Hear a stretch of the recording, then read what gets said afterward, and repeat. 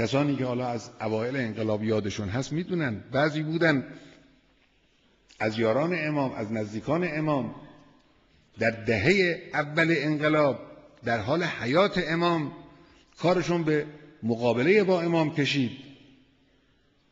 کارشون به معارضه با امام کشید. ایستادن پای اینکه امام رو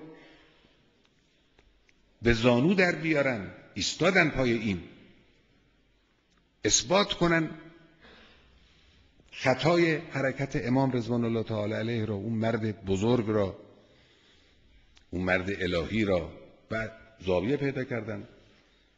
خب انقلاب اینها رو مطرود کرد تردشون کرد.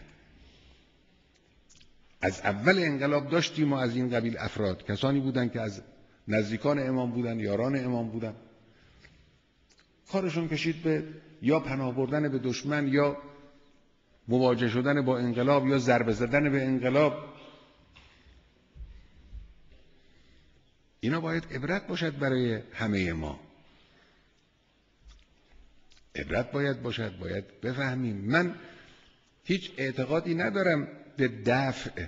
من گفتم در نماز جمعه اعتقاد من به جذب حد اکثری و دفع حد اقلی است اما بعضی که انهو خودشون اصرار دارن بر این که از نظام فاصله بگیرن. یک اختلاف درون خانوادگی را درون نظام را که یک مبارزات انتخاباتی بود تبدیل کردن به مبارزه با نظام. یه عده البته اینا اقلیتن کوچکن. در مقابل عظمت ملت ایران صفرند